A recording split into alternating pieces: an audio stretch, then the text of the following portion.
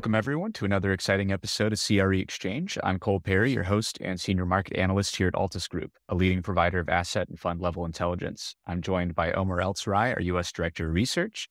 Uh, today, we're also pleased to have a guest with us, Adriana de Alcantara from Hines U.S. Property Partners. Omar and Adriana, it's great to be with you guys. Glad to be here. Adriana, welcome and thank you very much for joining us today. I'm super excited to have you on, not only because of your impressive track record as an investor and fund manager, but also because every time that we speak, you really leave me more excited about the CRE industry than I was coming into the conversation. So before we dive into the markets, Hines, your fund, and the CRE industry at large, I'd like to take a moment to really let the listeners learn a bit more about you. So, in addition to your notable professional CV and accomplishments, you're fluent in five languages, an avid runner, a mother. Each of these is quite impressive alone, but is even more so taken all together and collectively. So, what else would you be willing to share about yourself with the listeners? Thank you, Omar. First of all, thank you for inviting me. I'm super happy to be here. Actually, my profile is a little more different than most, right? I was born in Brazil with my family, we traveled a lot. When I was 16 years old, we went to Germany. We lived there for one year. And from there, with my parents, we went to Spain, at the college in Spain. What is interesting is my dad, at very young age in Brazil, he is an engineer by trade. He use valuation of single family homes in Brazil. But that mm-hmm. was his second job. Was his second job because he was working for a multinational, a German multinational. That's why we went to Germany. But by then, in Brazil, I find it interesting. They were speaking about inflation in the US. Inflation was high in Brazil. Even though he had a very good job, he needed to, to have a second job, unfortunately, even though we were in a good position, right? Anyways, I used to go with my dad at a very young age to do these valuations of the single family homes.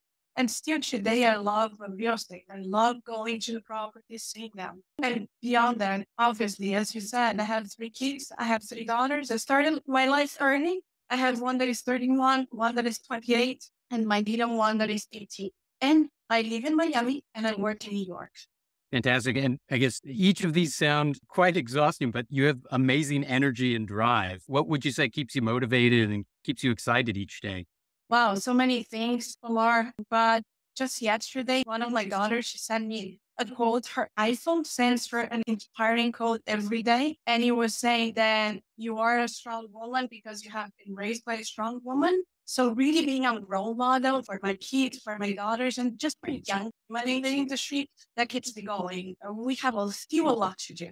Adriana, you talked a little bit about this, but how do you think that kind of international exposure has shaped your perspective and your career? To start, I travel a lot and sometimes I feel fake, even in my home country, Brazil, right? I have been all over the place, but what it gives you, it gives you resilience. It's not easy and the ability to cope with difficult situations. Plus, you really have a global experience. I have a global experience. I know how European markets work. I know how the American markets they work, right?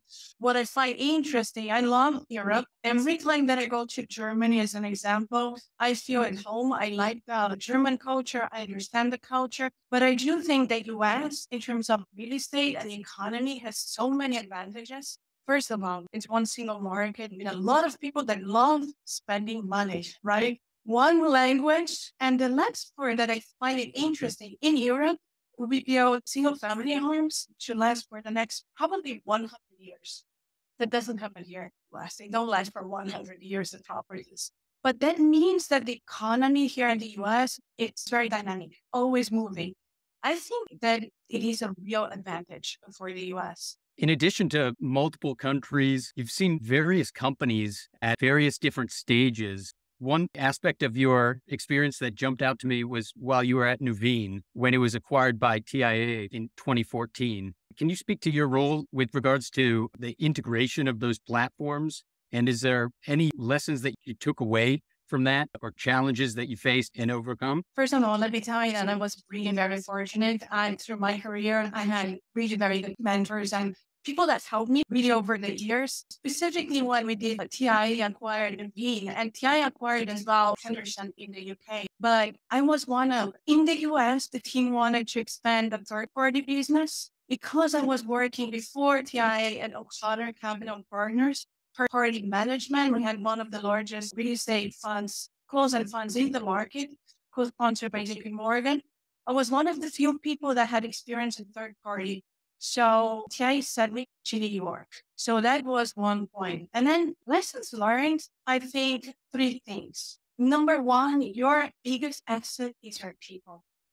I started at TI just after Lehman bankruptcy. and I was working at Lehman as still until the end.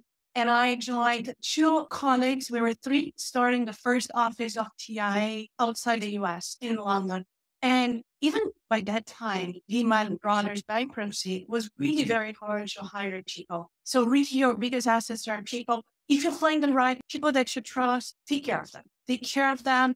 All in life is a choice, right? You have to be selective, but go the extra mile to take care of them. I think this is very important. The second piece is consistency. And it's the same concept that the compounding NOI. I find it, I know that I'm, you know, a real estate nerd. I compare everything in my life to properties. Just doing something every day is so important, makes a difference. And the last one and third, final point is reputation. Real estate is the same all over the places, but people will remember you the way you did business with them, right? That is the most important. Your reputation is the most important thing in your career. Yeah, definitely. And so after you were at Nuveen, you were actually at Hines. You joined in January of 2020, which early stages of the pandemic, a new role is difficult for many different reasons, but I can't imagine what that was like. Do you want to tell us a little bit about that, kind of what you learned from that experience and where you're at? Perfect market timer, right? Such a good market timing. Yeah, absolutely. Yeah, I stayed at um, TI Nuveen. I stayed there for 11 years. Very good company, but I always really thought very highly of Hines very smart people, humble people, really very quality real estate. And when I got the call, and by then my boss is Alfonso Munk, the CIO of Americas, he called me. He asked me, Hey, do you want to join us? We're launching the third party business, uh, the investment management business here in the US. And we would love you to come to launch our open end core plus fund. I have to say that it was really difficult to resist joining, starting from scratch, an open end fund. And I had already the experience at Nuveen starting an open end fund, but starting now with a company, we have over 3,000 people in the US.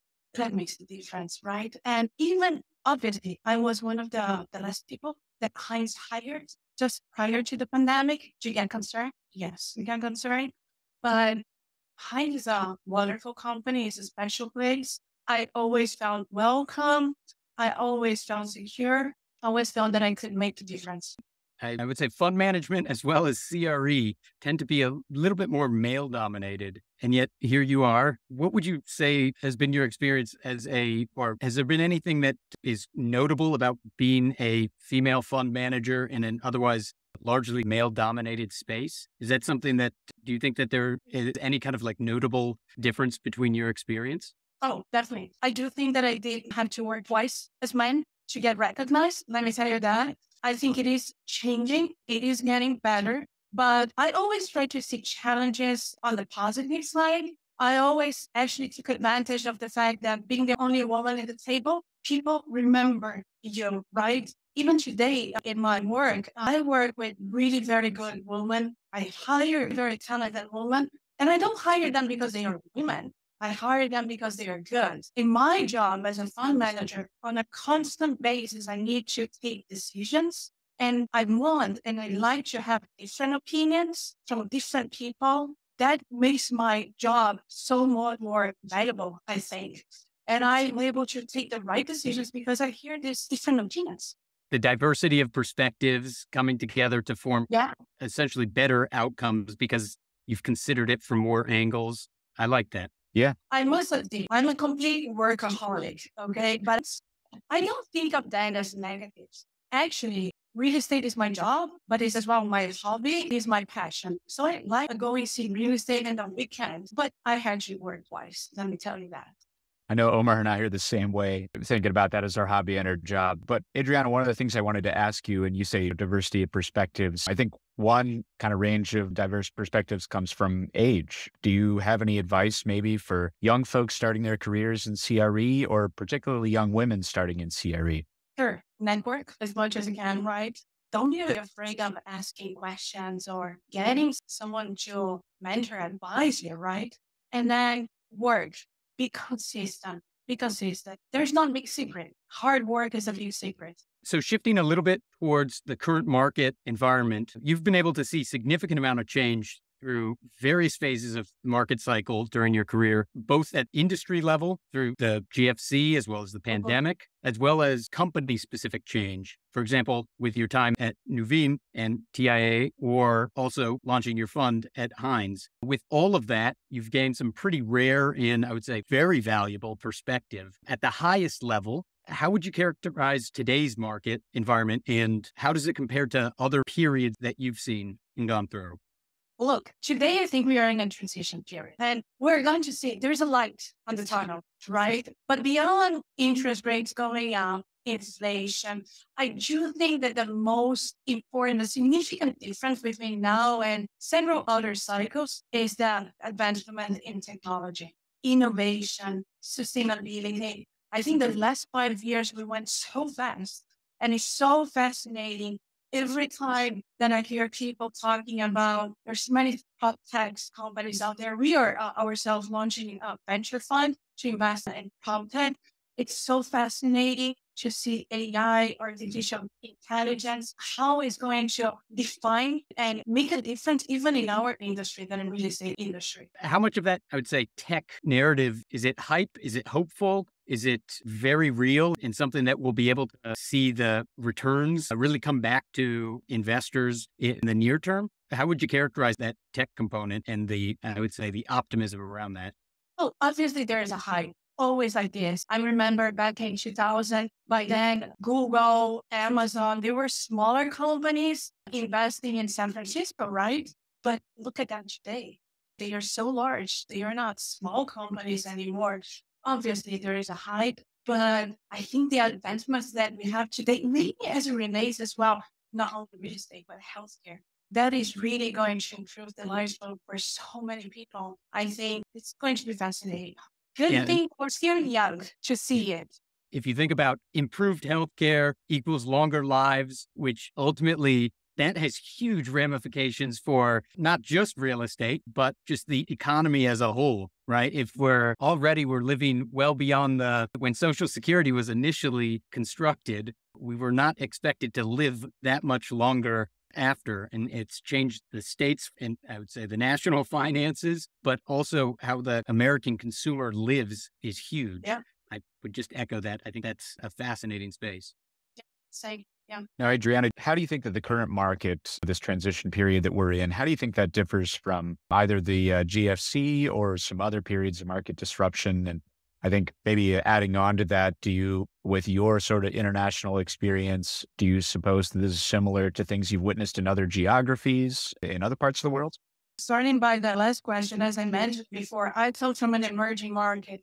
I know how hard inflation is. I actually think the Fed is doing it right a good job. Inflation is moderating. If not, growth is really takes a long time to get back to growth. I think that the current period is much more akin the 90s, 70s, and 80s, where we had really higher interest rates and higher inflation. But today, what I think it's really very different. Once again, it's technological advancement as well, but the interconnection and social media. Everyone is online all the time. Even my parents, they buy online in Amazon groceries, right?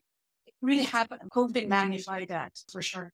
Shifting attention towards Hines, with a near seven decade track record, close to 100 billion in AUM, Hines is, I would say, well known and well respected in the CRE industry. But what would you say are some of its differentiating characteristics as a firm? First of all, we are family business. We are in business for over three generations now. We have mm-hmm. 90, as you're saying, 95 billion of assets under management. And we have over 3,000 people in the US alone. We have 5,000 people across the world. But what is interesting here is that every time that I travel in the US, I go to an office that we have. We have an exposure in 91 cities in the US. And that is really, I run an open and diversified fund. To me, that was so important. And where we are well is that we are fully integrated. We do everything in house from facility management to property management to asset management. And really what that means is that we know the tenants, we know the trends in the market. And at the end of the day, it means access to pipeline. We have all these pieces of people across the US that at any point in time, learn and go, we can be working in a property Miami, another one in New York, another one in Chicago, all at the same time. I don't think many people can say that. I can see that as a very strong competitive advantage. What are those communication channels like internally? Do you have to reach out to a completely different team to, to get that the info from what the property management team's seeing? Or is it something that is more open and flowing? Because everything is in the house, we control so much better the assets. I'll give you an example for our multifamily assets. We do have our own property manager in house it's a Hines brand. It's called Willowig. If my properties, I don't know, if I want to increase the occupancy or if I want to do more marketing in my properties, I can literally call the people, the internal people and tell them, hey, I, I want to spend $10,000 more in marketing. Obviously, I have a fully dedicated team helping me. Let me tell you that. I wouldn't be doing what I'm doing without my dedicated team. But no, it's very fluid. We're constant in communication and on a weekly basis. We have a pipeline call with all the team included in this pipeline call. It's pretty powerful. Zooming in a little bit, do you mind telling us a little bit about Hines US Property Partners, your fund? Do you want to give us a little bit of history and maybe yeah. give us an overview there? History. So I joined Hines in January 2020. Once again, great timing, right? I had no clients, I had no fund, I had no team it was really very hard to put all together through COVID, but that makes me even more proud. We launched the fund in July 2021. We went out to the market, obviously, a lot of Zooms. I did travel. We did do some, I would say, five due diligence on site. And that's the good part of clients. We have local people as well, right? But in any case, we launched the fund in July 2021. We launched with an initial 1.5 billion of equity commitments, growing beyond due diligence with several other clients right now. And we started investing. The fund is still very small. It's a core plus fund. It's our flagship fund. We invest in core properties. We invest in value add properties. Portfolio is small. We have 1 billion of assets under management, very diversified 15 assets. Starting the fund in July 2021, if you remember, that time the market was already very volatile. ODCE was doing, I think it was doing 20, a little over 20%, the open index in the US.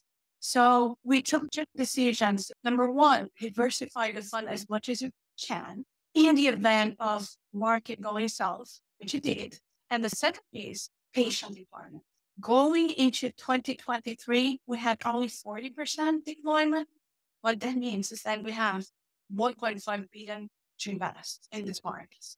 So you've now had two years of the ability to implement changes. And I want to hear a little bit about what have you already brought since you started it and what are you planning to implement or currently implementing as far as changes go? We're in a much different environment than we were in July of 2021. So I want to know kind of your thoughts on what those changes might be.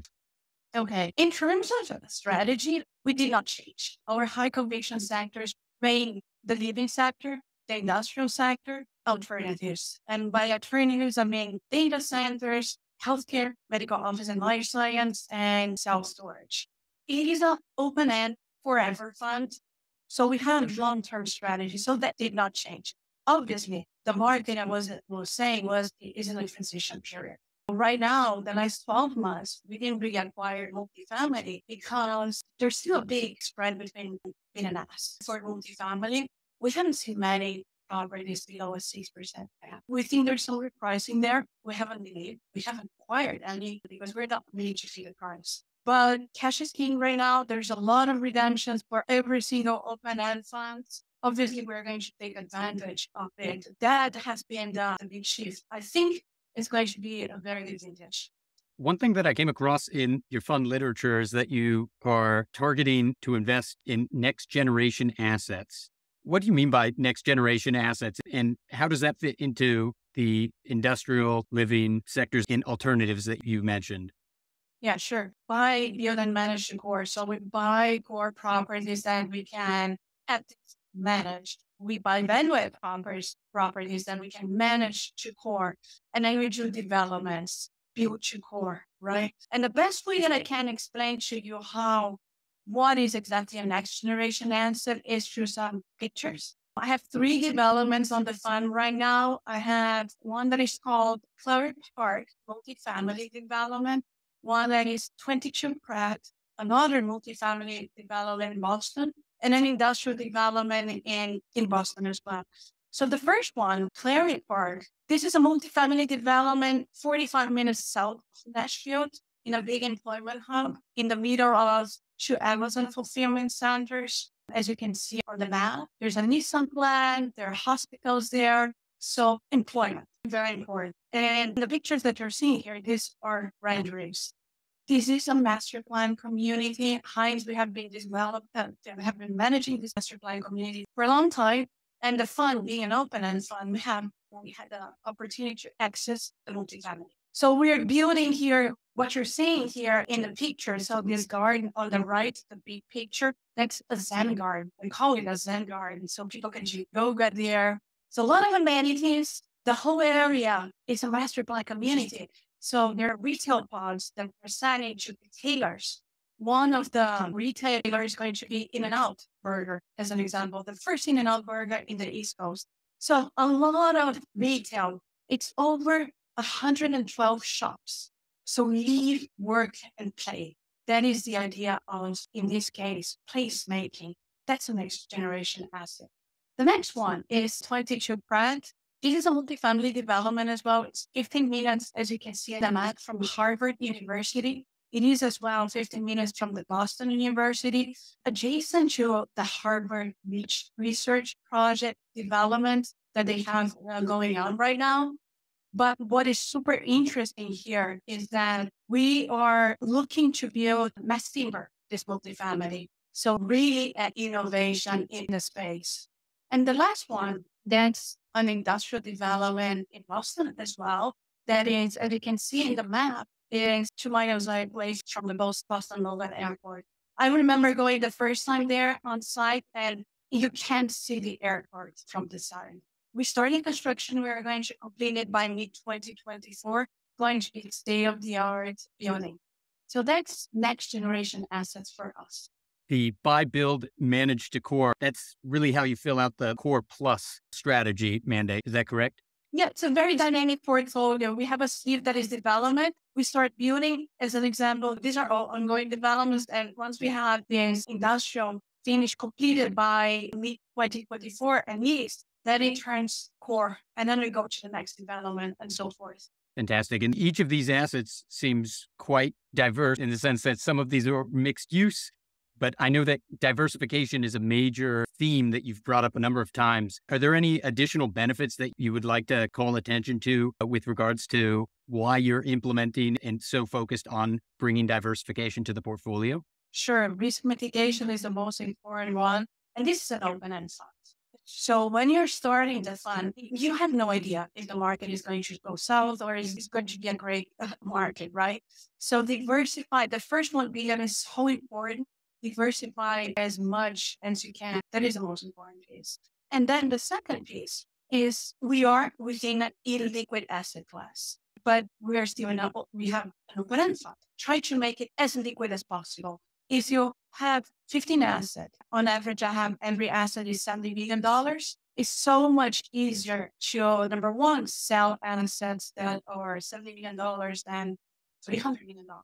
And second, your houses join valuation from $300 million assets right now. How difficult is it? 50 million, 70 million, you have many more trades in the market. You can compare that. I do valuations on a quarterly basis. We do valuations on a quarterly basis. So that was really for us. And Adriana, how are you guys identifying your uh, top performing markets? How are you measuring these? We talk a little bit about diversity or diversification, whether that's MSAs or property types. How are you guys identifying and, and measuring those top performing markets? That is a great question. Uh, you have a very good research team, local team. They're actually in Boston. Most of the team is in Boston.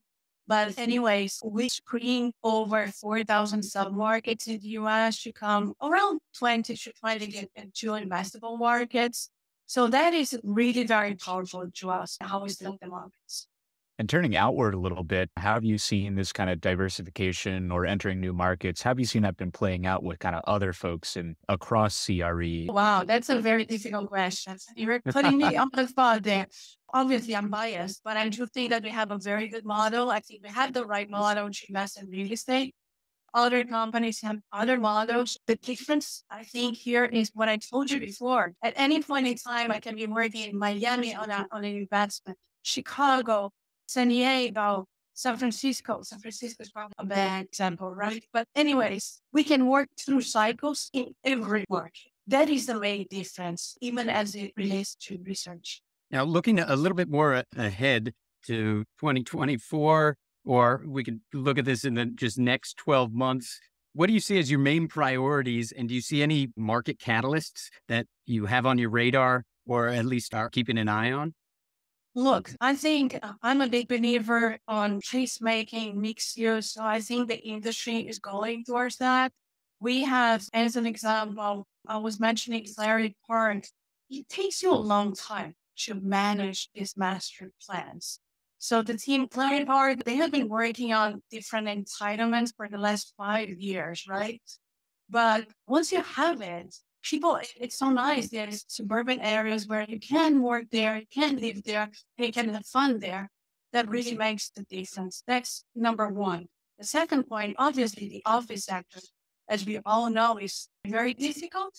I do not know what is going to happen, but what I do know is that it feels to me is very similar to the retail sector for 10 years ago. Everyone is working, talking about work from home, but the reality is that it just magnified the problem. The problem is that right now the, the capital structures are upside down. We build too much, too many offices in this country. So you need to get through this oversupply or under demolished office sector. And digging into that a little bit deeper and maybe making this a kind of a binary question, do you see more opportunity or more risk with office? Good question. I would say Right now, for the fund, mm-hmm. let me start by saying that we are not buying office for the foreseeable future because it's very difficult to see where it is going to go. But all this said, I do think that there is opportunity. And the reason for that is that not all office is bad office, right? Number one, we are co-developers of a week's Vanderbilt. That is really fantastic. We have over almost 100% occupancy and highest rents. That is one point. And the second point, because there is there are so many redemptions on the open-end funds in the US, you are talking about around uh, 15% of redemptions is 36 billion. I think this number is better than me, but around 36 billion in redemptions. That's a big number. And what is happening is that not only the open-end funds, they're not investing in your properties, but they are investing capital in their current and they're becoming even more obsolete. And what that means, if you are able to reach the next generation, invest in the next generation office, I think it's going to be an opportunity.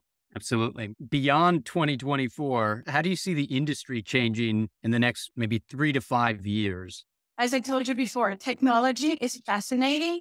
I think we are going to see a much more service oriented industry. We are seeing already, but it's going to be magnified. That's number one. And number two, mixed use concepts, which is, by the way, you look at Europe, has always been this way, right? Lower density buildings. You go to London, London is packed. You go to Madrid, Madrid is packed. It's so nice uh, to see this, the cities. They are really mixed use cities. Do you see sustainability playing into that at all? Definitely, yes, it's very important. But when I think about sustainability, I think about performance as well is our buildings, they are more energy efficient that will relate in rent premiums. And Many studies out there that you can get higher rents for greener buildings. And that should translate as well in, in value for our investors, right? So that's how I think about sustainability. Europe is in advance on that. We're a little behind, but this is coming, even in terms of regulation. Our fund, our open end fund is classified as an Article 8 fund under the European regulation. And what that means is by no means a green fund. Okay. But what that means is that we are promoting sustainability. And it's nothing more than what we're already doing, collecting data and contributing to a benchmark, including green clauses in your leases. So we're doing all this. But there's going to become more regulation in the US for sure on the topic. So, in the last couple of minutes we have you here, we like to ask the same question to all of our guests. And I think you might have already touched on some of your answers here. But if you could snap your fingers and have one change come to the industry, what would it be? One change coming to the industry. And so, I was saying once again, one mixed use concepts. All right, fantastic. Thank you for joining us today. Thank you. Thank you for inviting me.